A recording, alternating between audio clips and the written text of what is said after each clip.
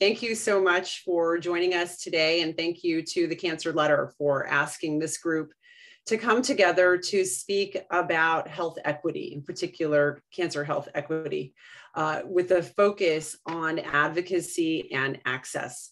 So I'm delighted. I'm Dr. Karen Knudsen. I am the CEO of the American Cancer Society and the American Cancer Society Cancer Action Network. And I am joined by four exceptionally strong panelists that I'd like to give a moment to introduce themselves, speak just for a moment about the organization that they work for and how that relates to health equity in brief. Uh, and if they're at a cancer center to talk a little bit about the catchment area that they serve or some unique features of that catchment area. So maybe we'll just start with you and my Brady Bunch view, Dr. Leader. Sure, thank you. Thank you, Dr. Knudsen, and thank you uh, for everyone for being here and, and welcome. Um, I, my name is Amy Leader. I'm an associate professor of population science um, at Thomas Jefferson University and Sidney Kimmel Cancer Center. And I think most importantly for this discussion, I am our Associate Director of Community Integration or our AD of COE, which I think a lot of people know. Um, Sidney Kimmel Cancer Center has a seven county catchment area. It's across the greater Philadelphia region. It's incredibly diverse. It's over 5 million residents. Um, there are at least 45 languages spoken throughout the catchment area, if not more. We are welcoming so many immigrants and refugees, um, whether they're Afghan families, whether Ukrainian um, refugees and families. It's an incredibly diverse catchment area. Um, it also has high levels of poverty and um, years and years of intergenerational poverty as well that we're, we're working to overcome. So incredibly diverse, dynamic, but a really great place as well. Thanks for having me. Thank you, Dr. Leader. Dr. Halbert? Uh, good afternoon, everyone. My name is Chanita Hughes Halbert. I'm at the University of Southern California, where I'm Vice Chair for Research and Professor in the Department of Population and Public Health Sciences. And I also serve as Associate Director for Cancer Equity at the Norris Comprehensive Cancer Center um, here at USC. So, um, you know, and in this role, what I've been really um, excited to learn about is um, also the, the shared but distinct uh, diversity that exists in our catchment area, which includes um, Los Angeles County.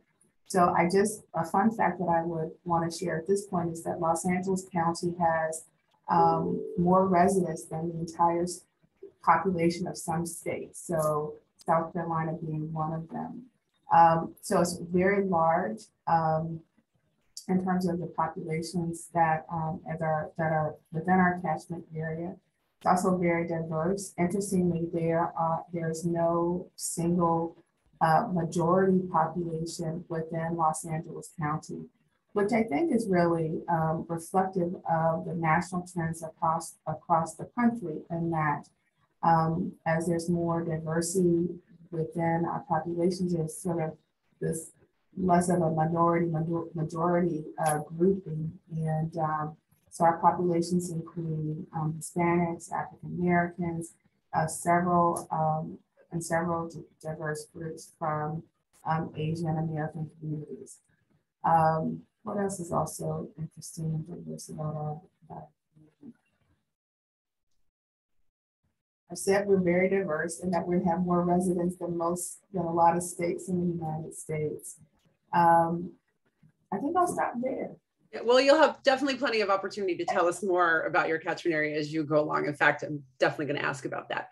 Uh, mm-hmm. Dr. Hudis? Uh-oh. My space bar didn't work. Thanks for having me. Um, it's really a pleasure to join you today. My name is Cliff Hudis, and I am uh, the CEO of the American Society of Clinical Oncology, uh, which is uh, the largest professional society for uh, cancer care providers and researchers in, in the world. Um, I am by training a medical oncologist, and I spent uh, al really almost three decades treating breast cancer in New York City. But since 2016, I've been full time at ASCO. We are not a cancer center, and so I can't answer the catchment area question. However, I would just say the following. Uh, what we actually um, are, are, responsible for is, in a way, the broadest catchment of all, because our 45,000 members include one third uh, who are working outside of the United States. And maybe one of the single biggest and paradoxically addressable problems that we face collectively is disparities in outcome and lack of equity. I say that because it doesn't require huge investments in cutting edge science to actually close many of the gaps that I'm sure we'll talk about in terms of uh, equity. And so we are very, very focused as an organization, especially in the last few years, but over our entire history uh, on, on this issue. And I'm sure we'll talk a little more about it. I'll just close by saying one distinction, of course, is we're focused on supporting the caregivers, the professionals who, who provide care. So we're very focused on giving them the deep insight, understanding, and tools they need to address this. The effect of our doing that should be that patients do better. Yeah, thank you so much, Dr. Hudis. Really appreciate that. And Dr. Willman. Oh, good evening, Dr. Knudsen. Good evening, everyone. It's a real pleasure to be with you. Um, about nine months ago, I left uh, the cancer center I originally helped build uh, at the University of New Mexico, which served uh, the entire state of New Mexico, and moved to the Mayo Clinic. So within the United States, we have three large catchment areas. And the exciting thing for me is they're very different. So in Rochester, Minnesota, we have the, the destination Mayo Clinic Medical Center that many of you are familiar with, but we actually have a network of 70 hospitals and clinics through the upper Midwest. That's through Minnesota, Northern Iowa, and Wisconsin that serves predominantly a rural population um, with un significant unmet need. And uh, throughout that population are really interesting groups, particularly of Somali immigrants and Hmong, which many of you are familiar with in the Twin Cities, as well as several indigenous tribal nations and communities. In the Southwest, in Phoenix and Scottsdale, Arizona, uh, we have a significant population of Hispanic and again, um, multiple American Indian nations, as well as a very large African American community. And then in Jacksonville, Florida, we have a nine county catchment area extending down towards Miami and up to the Georgia border that is predominantly um, non Hispanic white, but 30% African American, about 18% Hispanic, and again, a significant indigenous component. Um, what we're really doing, and we'll talk through this evening, I'm sure, is figuring out how to really uh, create access to those populations to Mayo Clinic, but also how to bring care and clinical trials to the patient across those uh, geographically diverse uh, catchment areas. So I'd be very excited to talk about that later. Thank you. Yeah, and that's terrific. And that, in fact, is the theme of tonight. There's so much to address when it comes to gaps in health equity and, and the drivers of cancer disparities. Our focus today is on advocacy and access. So maybe I can just say a couple quick words about the American Cancer Society so we have everybody's foundationally level set. So like Dr. Willman, I did make a major move from, from leading actually the Sidney Kimmel Cancer Center at Jefferson to go to the American Cancer Society almost a year ago. It's almost my anniversary. Uh, and we are dedicated to improving the lives of cancer patients and their families. And see our scope is everything from prevention and screening programs in partnership with many of the centers represented here, all the way through treatment survivorship and in fact bereavement because the caregiver the home caregiver is, is one of our key stakeholders. So one of the things that we do is we, we of course fund research. We're the largest funder of research outside the us government. Um, but we also believe that giving access to those breakthroughs the kind of breakthroughs that come from the centers represented here and from asco uh, and their members uh, is requires an advocacy push. So I actually am the CEO of two organizations, the American Cancer Society and the American Cancer Society Cancer Action Network, which is a 501c4. We can and do push for policies at the state, local, and national level that give enhanced access to care. It's a key tenet of what it is that we do, but we learn from all of the all of the groups that are represented here and try to represent their voice.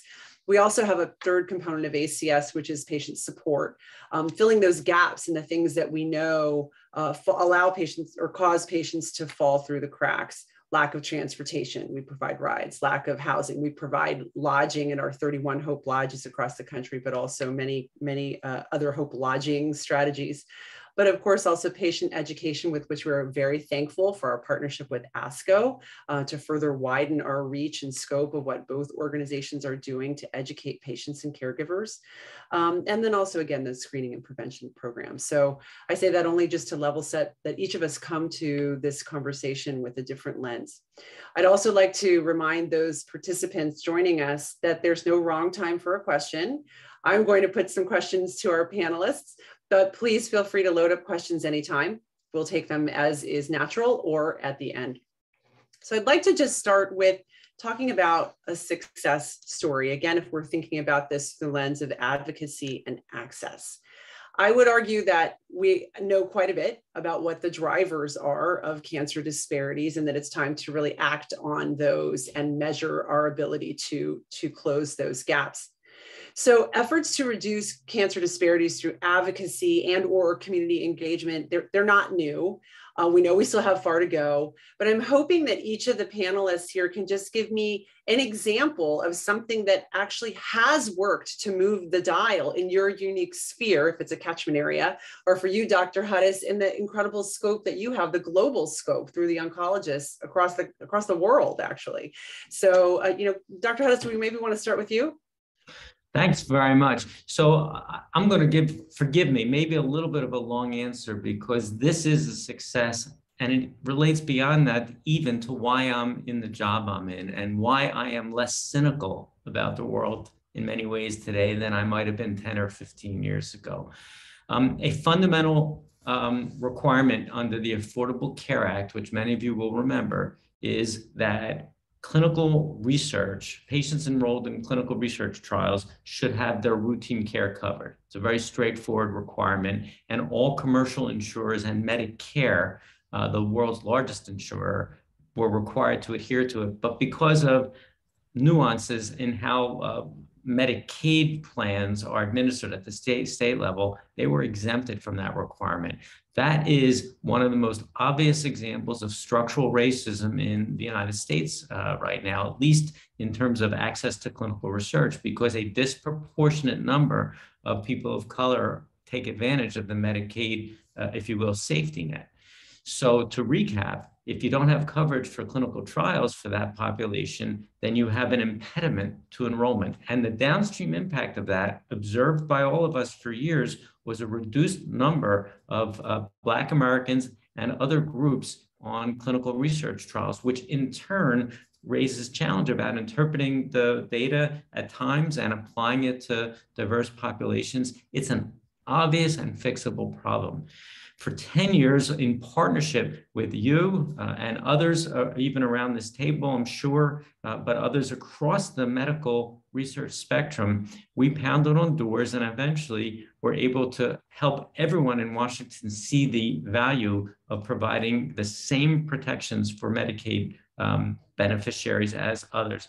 And with that, the Clinical Treatment Act was passed at the end of 2021. And now we've pivoted to enforcement at the state level, which again will require plenty of work, but it's a concrete success. Uh, and I expect it to have a pretty rapid impact on who gets onto clinical trials, which is one narrow part of the funnel if you think about uh, all of, of the work we're doing.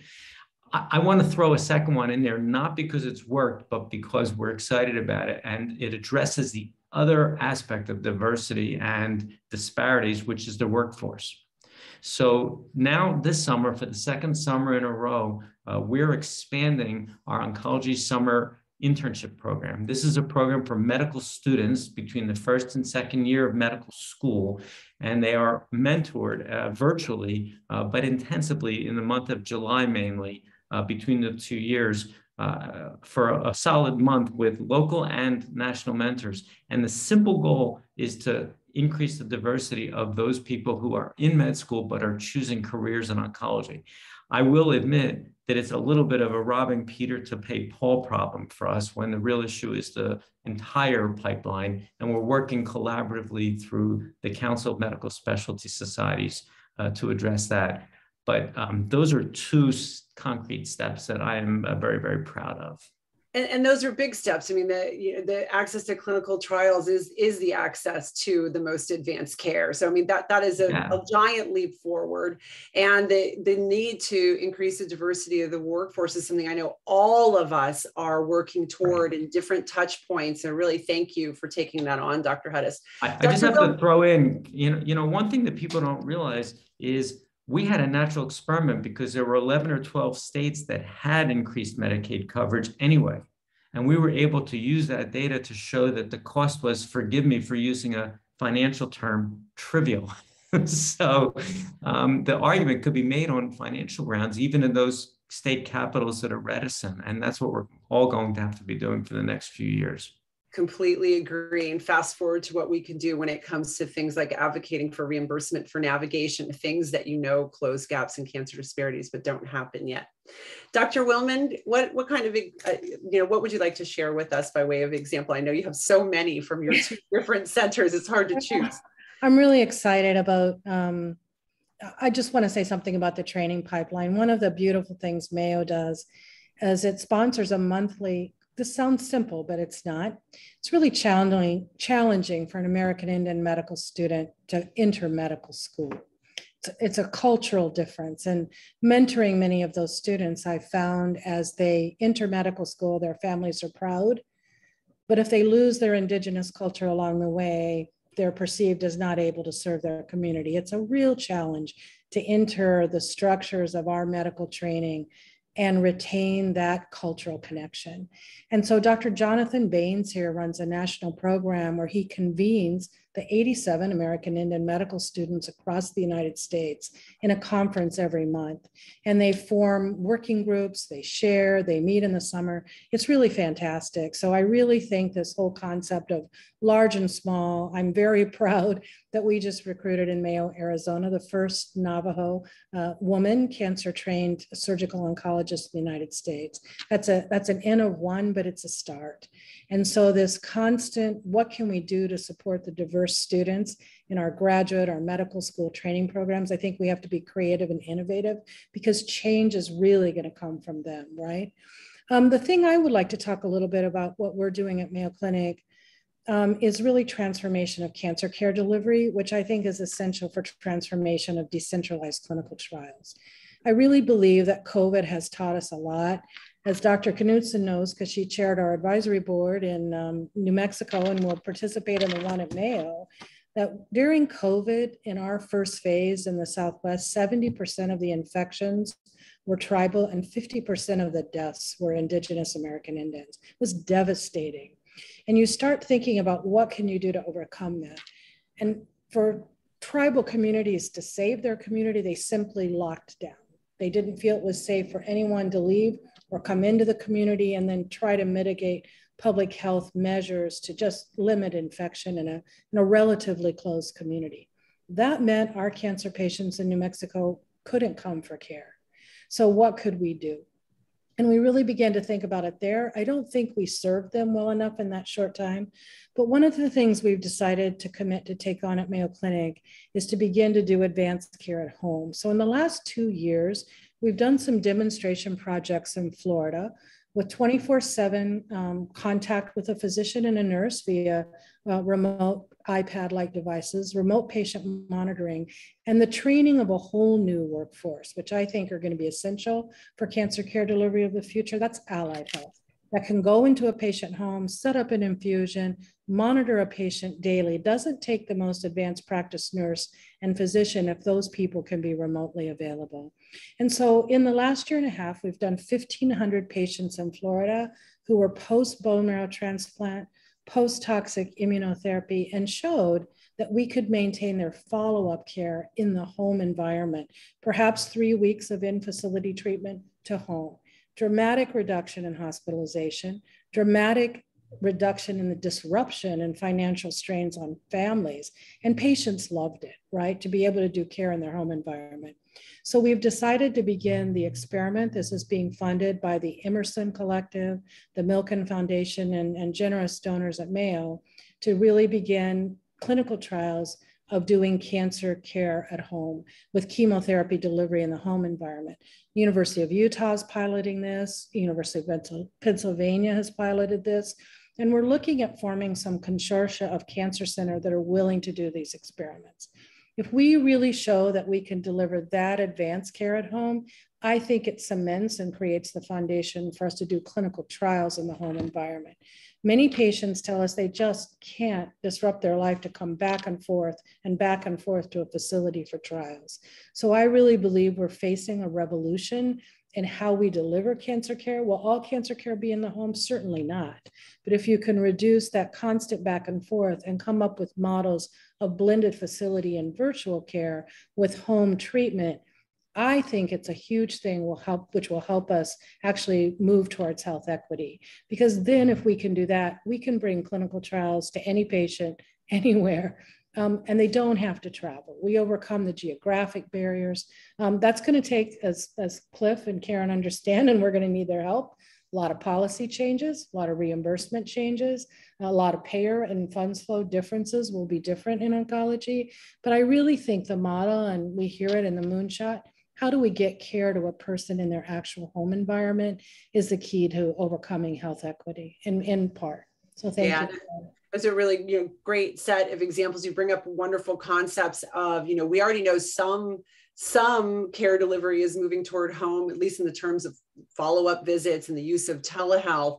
So I loved your concept, Dr. Willman, about also thinking about what is the workforce that's going to be needed to have that happen. And you know, I know uh, we've we've got a bunch that we want to get to, but I'm, I, I know that there are a number of centers working on this, but also to make sure that the safety and efficacy remains high in the home. yeah, that- one of the one of the things we're doing with Arizona State University, our partner in Arizona, is they're they have a huge kind of allied health training program. So we're looking at schools of public health and allied health to really think of what does that workforce look like in the future maybe nursing, maybe um, allied health personnel, but I think it's fascinating to think of what the workforce will look like. I think it'll be quite different. Yeah. So you've heard two really phenomenal examples from Dr. Hudis and Dr. William Willman already about things that they had implemented, which have had a significant impact. Dr. Halbert, Halbert what would you like to discuss? Sure. I mean, one of the things that's really exciting for me about being on this panel and hearing the discussion thus far is that it really just makes me appreciate um, the significance and value of the work that I and my colleagues have done, which I think have been foundational um, with respect to identifying barriers and facilitators to clinical trial participation in uh, diverse populations. So I think what um, my own work has focused on and the work of my colleagues here at the University of Southern California has really been foundational just to document and describe and to examine the impact of travel distance, the impact of um, lack of awareness among patients, the barriers that healthcare providers experience with respect to um, sort of integrating discussions about clinical trials into their delivery of patient care. And that foundational work, you know, it's exciting to hear Dr. Um, Dr. Hutt has described now the, the way in which that has, I think, been transformational in terms of generating the policy, um, because the policies I believe are based on empirical data.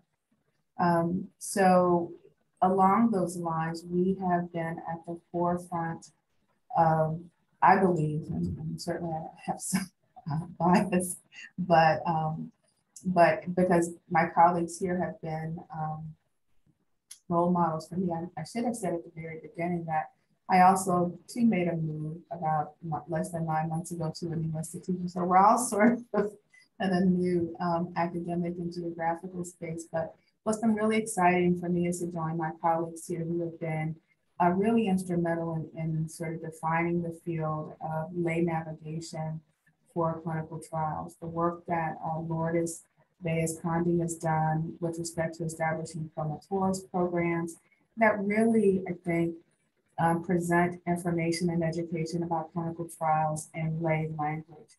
Um, I think has really um, been important in terms of moving the needle and activating patients and bringing their awareness to this space and the importance.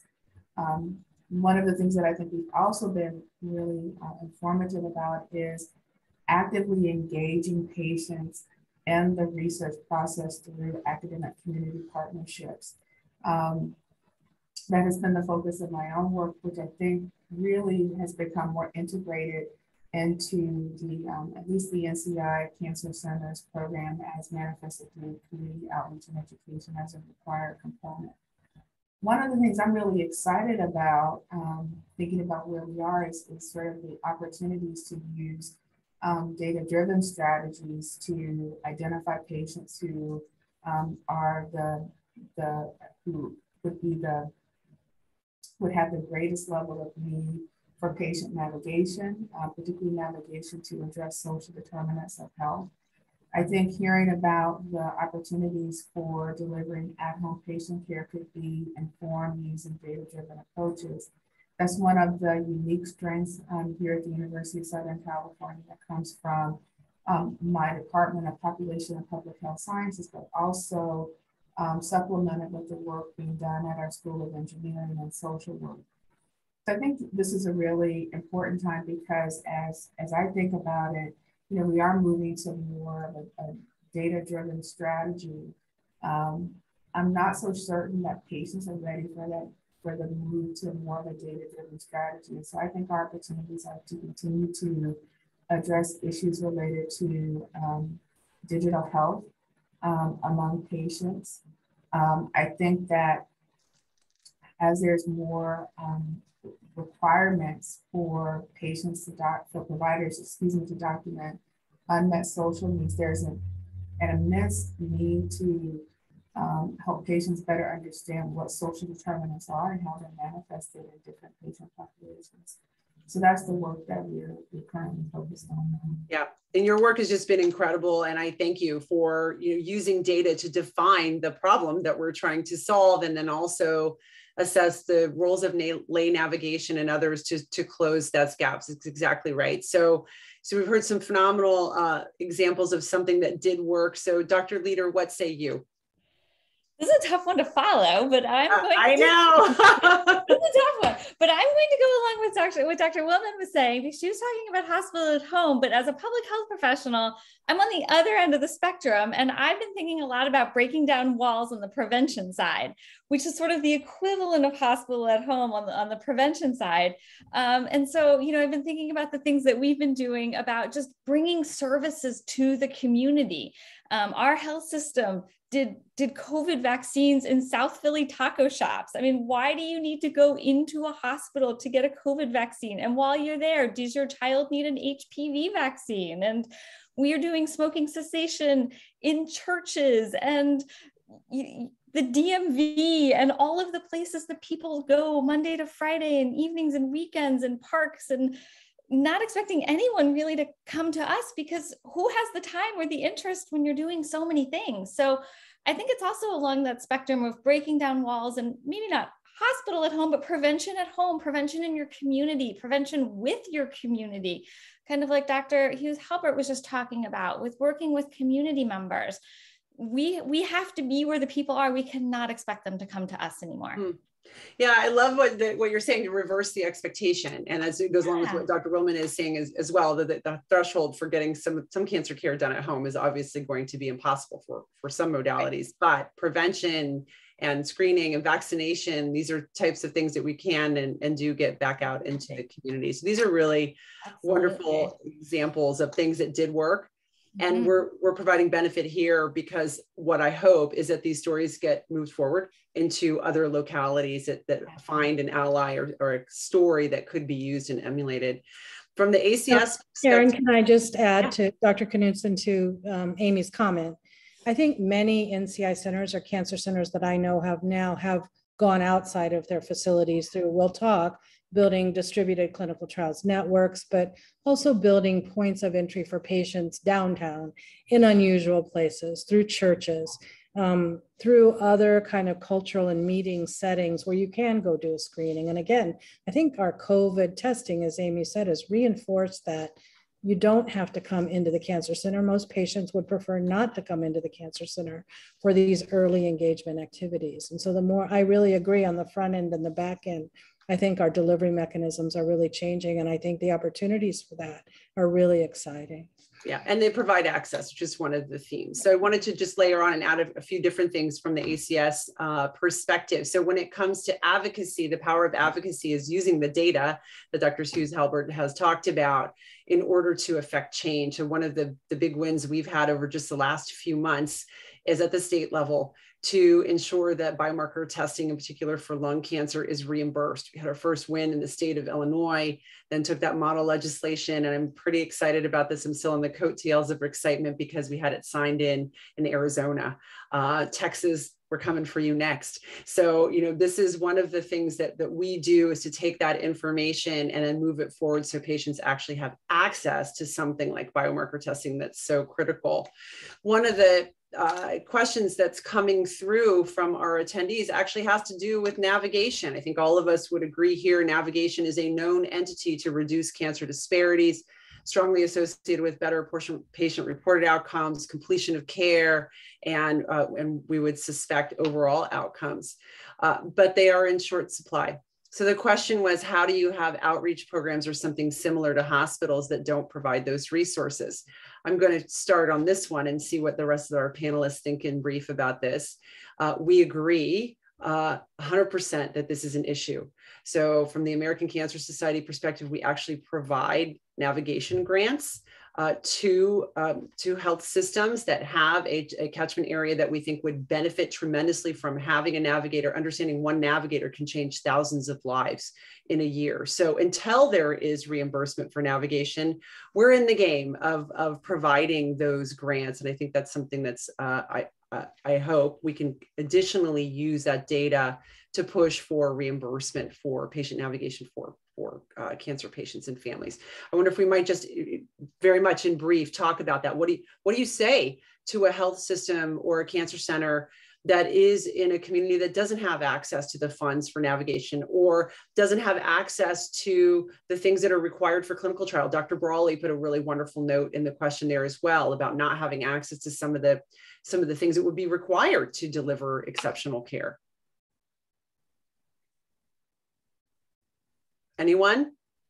Well, I'll, I'll take that, um, Dr. Brawley. I mean, I think you don't just go into the community. I think many centers, again, are developing gorgeous screening buses, mobile chemo units. It's like you can deliver some of the activities and infrastructure to engage patients wherever they are. So I agree that, you know, is are all homes suitable for care at home? Could you create a community center that's closer? Where would you go that people gather? Like, you know, uh, throughout um, Arizona, we have a, a Pastor Stewart who um, works through a huge network of, of Black and uh, other churches serving Hispanic and underserved populations. They have a Sunday, Health Sunday, fourth Sunday of the month. They conduct screenings in the church environment and health education programs. I just see so many, I think the benefit of many of us in the NCI Cancer Centers program is sitting on each other's boards and listening to these incredibly creative means by which people are going in to meet people where they are. And you're right, Dr. Brawley, sometimes that takes infrastructure, mobile infusion units, mobile scanners, but I think all the technology is going in that direction more and more. So again, I think it's achievable. Also, would just like to contribute to the conversation. I, I, I think one of the focal points for our work now has um, has been really to think about ways to create and enhance our community-based referral process for clinical trials. Um, and, that, and that's a real, uh, I think it's a really tall order um, because clinical trials, you know, it's, you can't like go start a clinical trial shop in a single um, solo uh, radiation oncology practice. I think it takes a, there's a lot of regulatory compliance issues that need to be that will need to be addressed. But one of the first things I think has been exciting um, for me to learn is that um, oncology providers who are not affiliated with an academic medical center are interested in engaging and being and being involved in the process. And I think it, it requires one understanding what the capacity is uh, for their engagement. Is it providing a list of trials and then setting up a referral mechanism? Or, you know, are there facilities that are ready and able to do, um, be more actively engaged? So one of our um, initiatives that I've been working on developing is creating a community-based oncology network that it, that is separate from the um, the academic medical centers. And so the, the, the, vision that I have is that these will be um, single independent practices that are interested in learning about clinical trials and want to be involved in the process. And then figuring out sort of on a practice by practice um, process, what makes sense and how we can implement the referral process. This is, I think, one of the strategies that I and others have used to, to um, open um, cancer prevention research studies, intervention studies, um, in different clinical settings, but I don't think it's going to apply to clinical. Yeah, absolutely hear you. Uh, you know, but Dr. Hudis, your constituency is all of the above. It's the community oncologist, the academic oncologist. Uh, you know, what what's your view on how to ensure, how to enhance the ability of all individuals to have access to quality cancer care, which I think is what the gestalt of Dr. Brawley's question is. Well, yeah, I, I'll answer that with two related components. The first is, as everybody knows, you are what you measure. And so one of the things that we do, of course, is try to support high quality cancer care, which means measuring certain components of care and holding ourselves accountable. So one obvious point is uh, if you do that broadly in all populations, uh, then you will, I hope, bring the necessary resources to bear to close those gaps you identify. And we've gone a step further in our currently, we currently have a pilot project of an alternative payment model, uh, the ASCO Patient-Centered uh, Cancer uh, Care Certification Program, or APC4. And of the seven domains that are assessed with metrics, uh, one of them is actually uh, all entirely focused on diversity, and that includes access to care um, and culturally sensitive care, as well as access to clinical trials. On the second, uh, or looking at this a different way, early on in this effort, uh, we identified that no one institution or organization necessarily has the broad reach uh, necessary to really solve this problem. And we would never be able to do it ourselves. For example, we have our TAPUR study, it's at 250 sites. It has great diversity, matches the makeup of America, but it still represents obviously a modest uh, penetration. So we partnered uh, with the Association of Community Cancer Centers in a multi-year project that is very, very focused on two specific things. Number one, what are the barriers to enrollment in clinical trials? And by extension, that means care. It's the point you were making at various sites um, for people who come from historically underserved groups. And the second component of it is what can we do about it once we identify those? And I say that because I think one of the answers will be navigators, just as we've been talking about, but not the only answer. There'll be other resources needed as well, but we'll approach it uh, with data.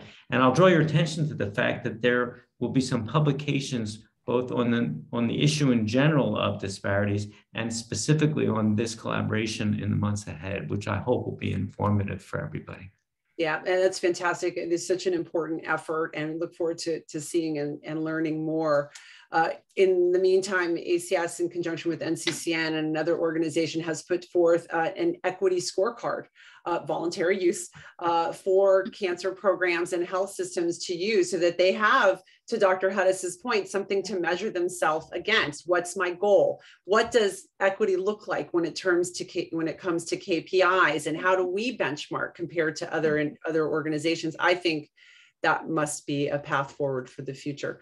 Dr. Leader, what, what about you? So, you know, you, you are at a dis heavily distributed uh, system, just like Dr. Willman. Um, but what, what are your thoughts when it comes to ensuring that there's equitable cancer care for as broad a reach as possible within a catchment area? Yeah, well, I had two thoughts, and they both were uh, slightly touched on here. One around the navigator piece. And we know there's a lot of formal navigator training programs and even community health worker certificate programs. But Dr. Hughes Halbert was alerting to promotores and, and lay workers and um, references to pastors from Dr. Willman. I mean, community members can be trained in, in a simple way to do some of that work. And we know that navigators or health workers who, who share the lived experience of the patient or family they're working with are much more effective. And so I think we just have to broaden our scope of who, and it gets back to that workforce discussion as well, like who's in the workforce and who's representing and, and who's helping and who's providing access. And then I think the other piece is too, COVID has really blown geography sort of out of the water. And it's like anyone can be anywhere doing anything essentially. Um, and so, you know, when we think about telehealth and telemedicine and telenavigation, certainly there's digital literacy and digital divide. And so now there's an entire field of, of digital navigators that are cropping up during COVID. But I think that we are thinking differently about, you know, access and, and those kinds of points as well. But I, I, think navigators is a great point, and I think we have to think very broadly about what a navigator is. Yeah, I think that's exactly right. And the navigation roundtable, uh, you yeah. know, is really a wonderful place where this is discussed. I'm very thankful for all the stakeholders that yeah. work with us there. You know, but telehealth, as you talked about, and the blowing up of geography, and to, to, take Dr. Willman's phrase of, you know, getting care in home, and yours of reversing the expectation, and Dr. Hughes Halbert's, let's, you know, engage the community and use navigation differently. Uh, it's the case that telehealth, if that's a vehicle, requires an advocacy play, right? For yes. us to ensure that there is uh, you know a potential that all that navigation can be or that navigation and digital navigation through telehealth can be maximized as long as there is a reimbursement strategy or a support strategy. So um, maybe we'll close this topic by just asking dr Hudis what his views are and how we might achieve that and and uh, and how we might work together toward that end.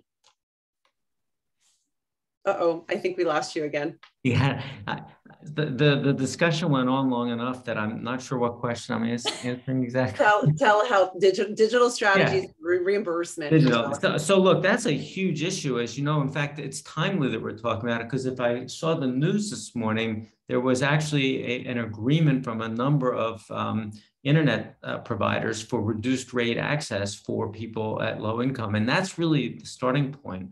Um, right now, my understanding is that Americans pay more for data and access than many other people in, in developed countries. And that, of course, contributes to the divide.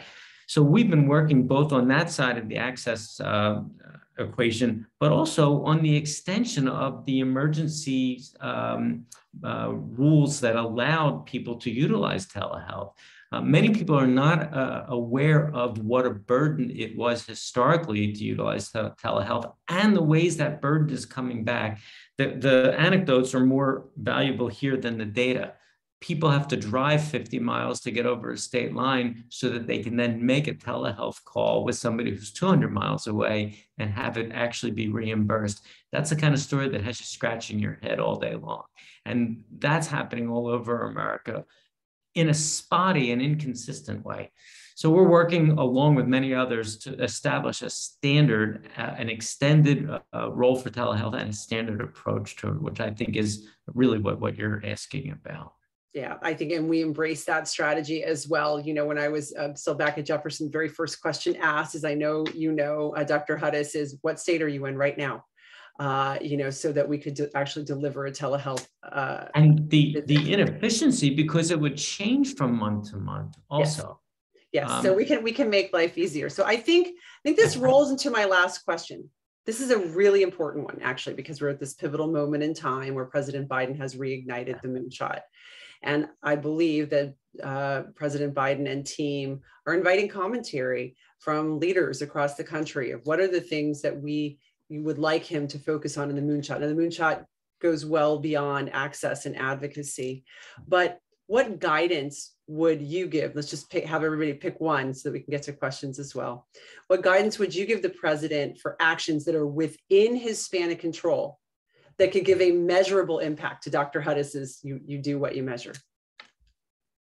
Dr. Leader, you want to start? Oh, well, I think I have a running theme around, you know, breaking down walls and, and that kind of thing. So mine's probably not all um, that surprising. I would say you need a community advisory board. You need you need community members and you need stakeholders at the table with you um, because we can design clinical trials all day long. And if no, if they're burdensome to patients and they don't want to enroll on them, we're dead in the water. Um, we can design interventions that don't that aren't culturally appropriate and no one wants them. And so unless you really have a, a group of community members and stakeholders walking hand in hand with you, um, it's it won't be effective. Hmm. And so, so, it might not be the, the vision, but it's who he needs at his table. No, I mean that's what we're looking for, right? Are actionable items. Yeah. And an actionable item is development of, of a community yeah. advisory board to guide yeah. the moonshot process. Uh, excellent. Dr. Hughes Halbert. Thank you. I, I would focus on two things. One is with respect to clinical trials, I, I believe that um, there needs to be guidance around the, and a requirement that all patients be screened for clinical trial mm. enrollment. And that, be, that there's a requirement to document that screening process took place. Um, I think that's critically important because in, in some of the work that, that I did at my previous institution, the common theme is that many patients, regardless of if they were Black or white, were just not asked. And I think that is the, whether or not the screening, they were not asked because they didn't meet the criteria. They weren't asked because there was a, um, they had other indicators that make them not eligible.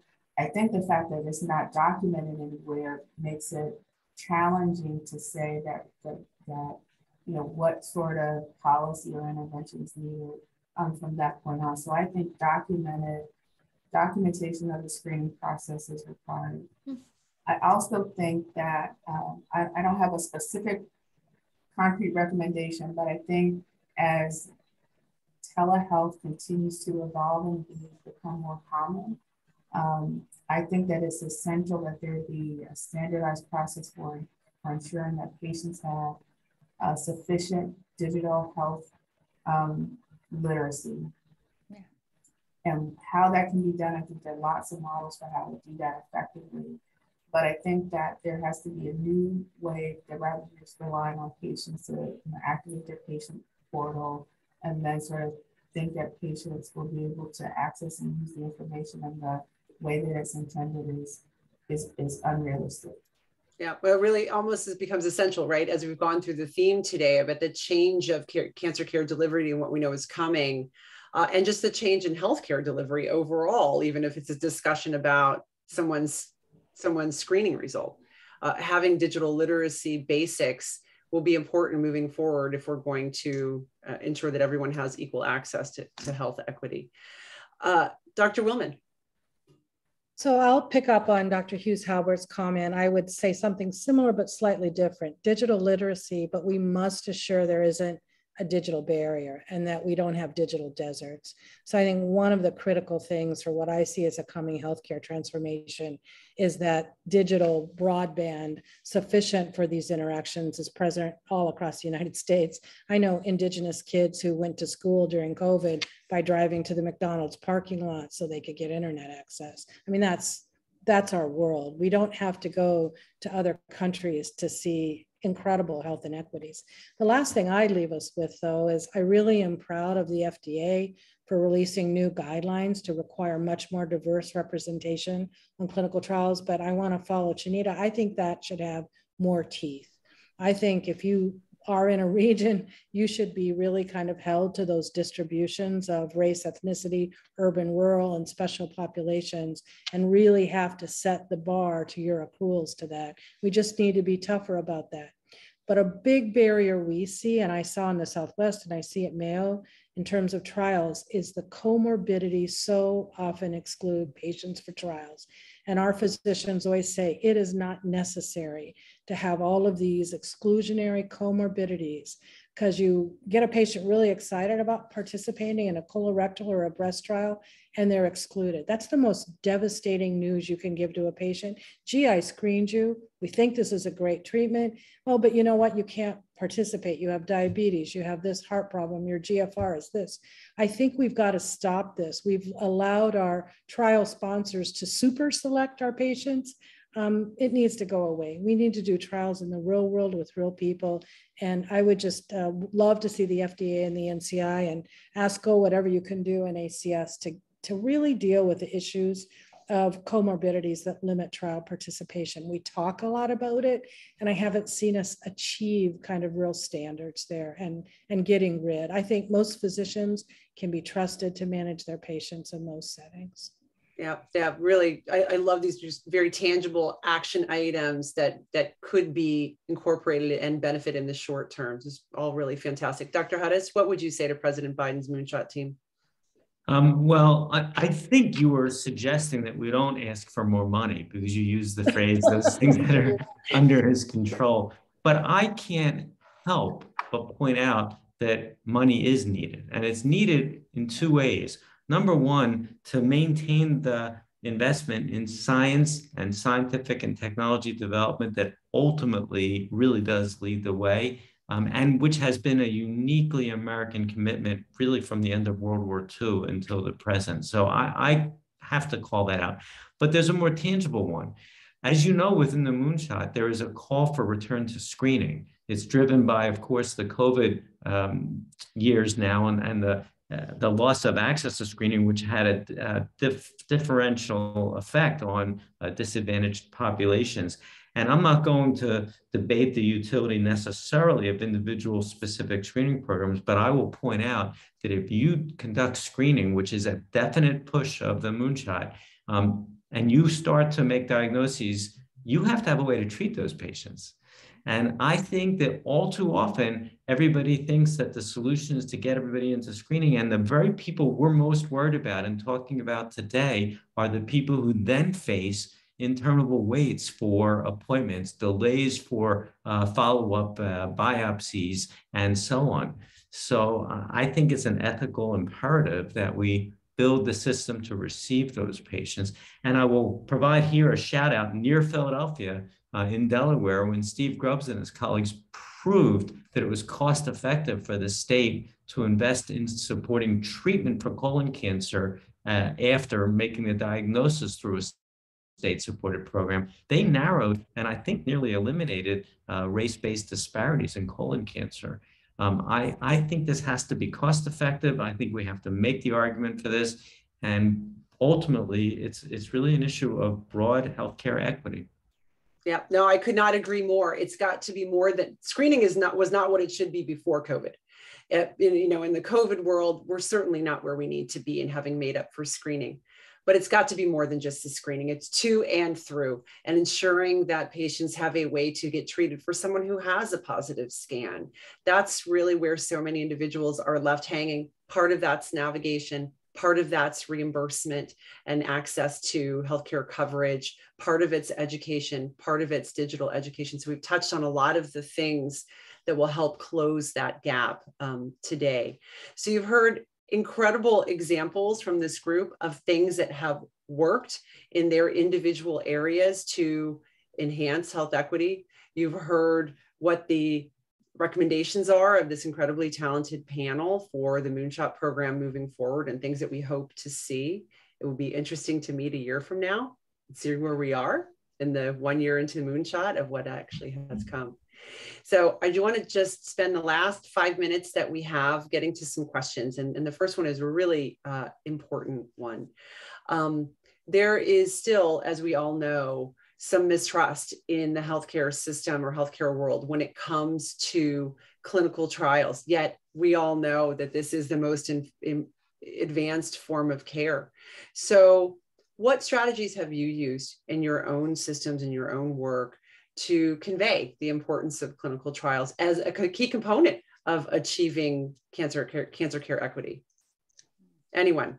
I'll start by saying, you know, one of the first strategies I think is to really be um, proactive in one acknowledging past and current um, abuses. And I think part of the, the issue with mistrust is that, you know, so often, you know, there's a um, you know, sort of a centering of discussion on Tuskegee, but there really are like examples from our, our where we are right now, present day, that um, contribute to mistrust and distrust of the healthcare system and providers and everyone engaged in uh, the research enterprise.